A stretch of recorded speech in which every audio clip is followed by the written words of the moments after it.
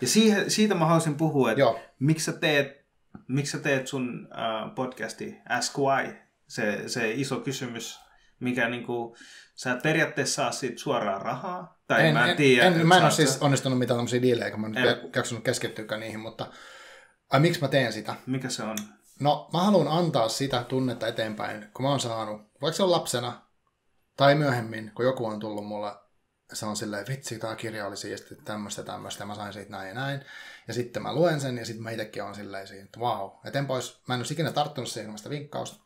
Ja sitten mä sain siitä vaikka mitä asioita mun elämään, ja se voi johtaa uusia ajatuksia, uusiin toimintoihin.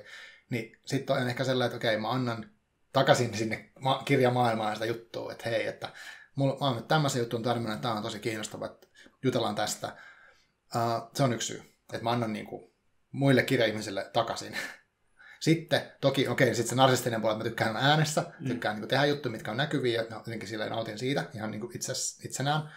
Ja kolmas on ainakin se, että mä pääsen juttelemaan semmoisten tyyppien kanssa, jonka mä pääsen muuten juttelemaan. Eli nyt mä voin soittaa tai laittaa viestiä jollekin tyypille, että hei, että mä oon lukenut sun kirjaa, että onko siistiä, että tuut sä mun kanssa juttelemaan tunniksi tästä aiheesta. Et sehän on niinku ihan älytön juttu. Mm. Et jos mä vaan niinku randomisti vedän sen niin ilman tätä niinku tekosyytä, niin tulisiko se tehtyä? Tuskin. Ja sitten sit niiden keskustelut on tosi kivoja. Niinku sen, nautin siitä keskustelusta, koska mä en välillä tiedä, niin mihin se niinku johtaa. Ja sitten siinä on se jännitys, että, että mitä, minkälainen se tilanne on, että on, jännittääkö meitä molempia, onko vähän niin vaikeita, vai onko tosi helppoa ja kiva, että vaan menee eteenpäin. Että nämä on kaikki niin tosi kiinnostavia juttuja, ja sitten mä opin itse hirveästi siinä, kun mä teen.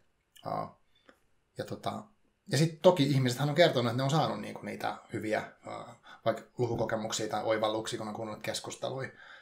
Uh, niin sit, sit, silloin on joku arvo itse keskustelulla ilmeisesti näköjään, että mm. se, niinku, se toimii.